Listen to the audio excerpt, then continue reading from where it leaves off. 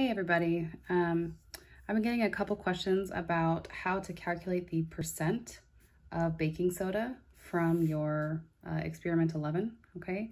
So when you do this decomposing baking soda, there is not only the problem of figuring out, um, you know, how much, like what is the mass of the stuff in your actual test tube, but then you have to go around and figure out what is your original mass of baking soda and figure out the percent of baking soda in your mixture, okay?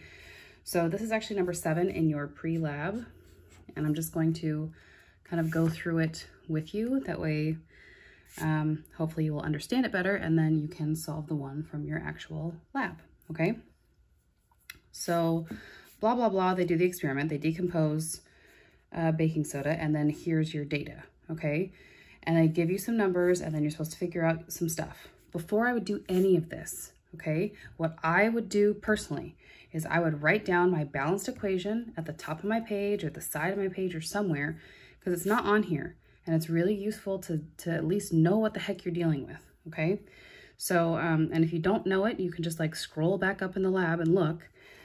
But this is the decomposition of baking soda. So you have NaHCO3 two of them.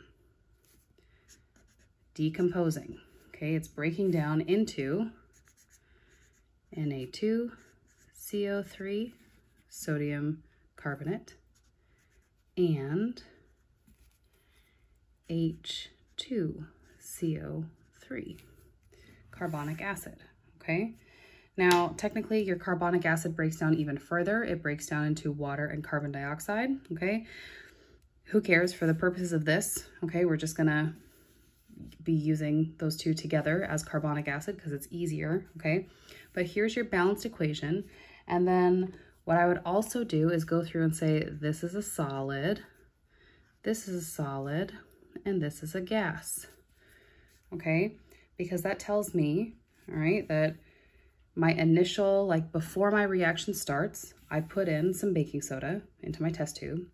And then after I heat it up, because I'm decomposing it, I'm heating it up, and the decomposition happens, my test tube is actually going to be lighter, right? Because some of my products are not just a solid, some of them are also a gas that will, you know, uh, I don't, it will turn into a gas and it will go out of the test tube. Okay, so my test tube on this side, on my product side, should be lighter than my reactant side. And if we look, that's exactly what this tells us, okay? So first things first, the mass of my unknown mixture, right? Okay, and so your, your unknown, right? Your, your unknown actually has baking soda and it has some salt in it, okay? So, all right, so your unknown mixture has both baking soda and salt mixed in, but you can't tell the difference, right? You can't, can't tell if that's a grain of baking soda or if it's a grain of salt. Okay, it's all, they all looks the same, all right? Uh, so what I need to do is figure out the, um, the mass of my unknown mixture, which is both baking soda and salt, okay? It's a mix, all right? And the way I do that, okay, I have the mass of my test tube just by itself, 17.115 grams, and the mass of the test tube plus my unknown, 18.351. So I just do some simple subtraction, okay? I take the mass of my test tube and unknown, and I subtract the mass of my test tube empty, okay, 17.115, and I should get the answer, I'm just gonna write it here to save space, okay, of 1.236 grams. Okay, so this is my unknown mass, which again is gonna be baking soda and salt, all right? Now it wants me to find the mass of the gas. It literally tells you how to do that, okay? So before heating minus after heating, all right? So it's gonna be my mixture before heating, subtracting my mixture after heating, because that's gonna tell me the difference in masses. That's gonna tell me basically what was the mass of this gas that went away, that, that you know, went out of the test tube, okay? So for this guy, I'm gonna take 18.351, subtract 18.008 grams. And I would get the lovely answer of 0.343 grams. Okay, so I had 0.343 grams of carbonic acid leave my test tube. All right, now what? Okay, now it says uh, the mass of, of baking soda, okay, sodium bicarbonate in an unknown mixture and percent of sodium bicarbonate in the unknown. All right, so this is asking me two different things. And if I can kind of sort of scoop this up, can I? Not enough for you to see that, okay? But here's the space for you to fill up with the mass and the percent, okay? Let's get this back down for a second. All right, so it's two different steps. First, find the mass of your sodium bicarbonate, okay, of your baking soda.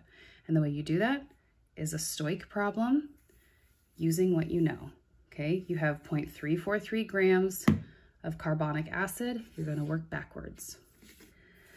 So I know 0.343 grams of H2CO3.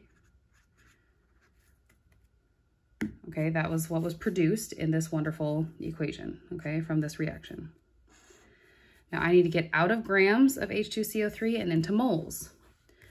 So get out of grams and into moles, right? The way we do that is our molar mass, and you add that all up, and you would get 62.03 grams of H2CO3 is one mole of H2CO3. Okay, be careful to label.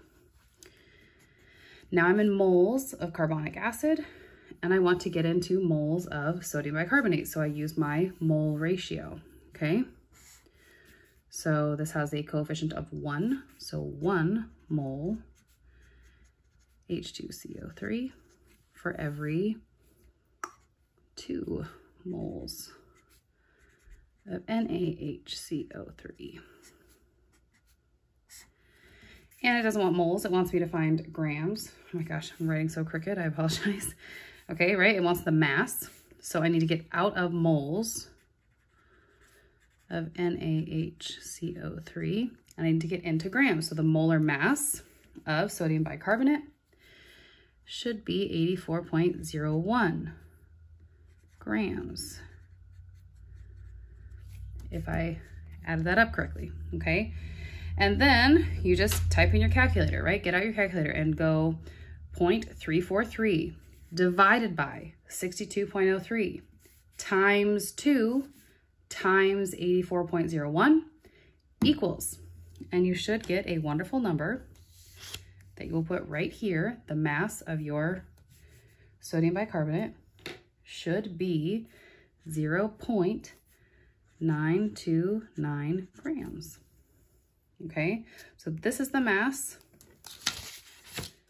of this, okay, of my sodium bicarbonate that reacted, all right? However, you'll notice this, oh, can't see that in the frame, okay? This 0.929, that is not the same number as the 1.23 whatever that I started with. Why? Okay, why isn't this exactly 1.23? That's because the difference is gonna be the amount of salt in this unknown mixture, okay? So 0.929 grams of this 1.2 is sodium bicarbonate. The rest of it is salt okay? So now it's asking to find the percent of sodium bicarbonate in my unknown, okay? That's really easy. I just, for my percent, I'm gonna take my mass of NaHCO3 divided by my total mixture.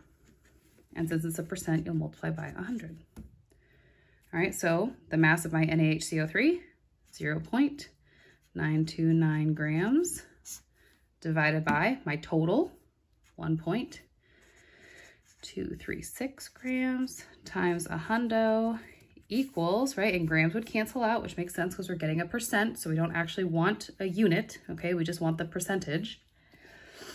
And if I did this correctly, I would get 75.2% NaHCO3. All right, so these would be your two things to find from this whole page. Okay, hopefully that makes sense and uh, that helps you figure out the rest of the stuff for your lab, okay? Good luck.